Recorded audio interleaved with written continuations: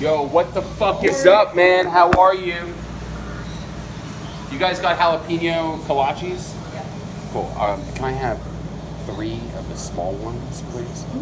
Thank you. That's it? Yeah, that's it. Is that not enough? Should I get more?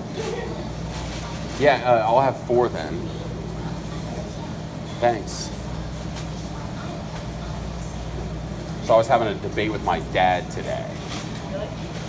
Yeah, he's like an atheist, and I'm not. and I was like, well, you know, from my own personal experience, like, I died as a baby. Like, I drowned, dead for eight minutes. I was like, I got resuscitated. So there's a God, you know?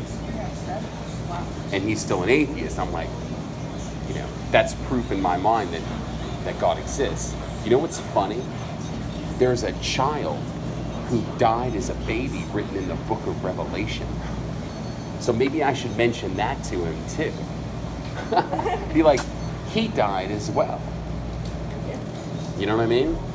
Yeah, those arguments are always tricky. Yeah, I-. Uh, are they already warm?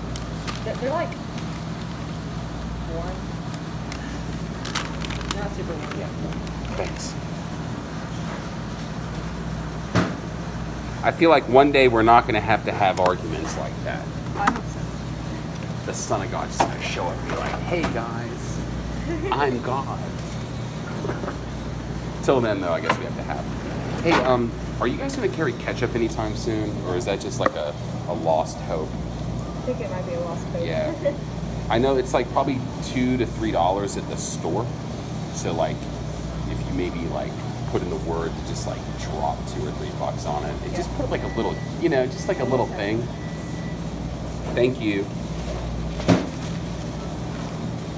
In the meantime, see ya.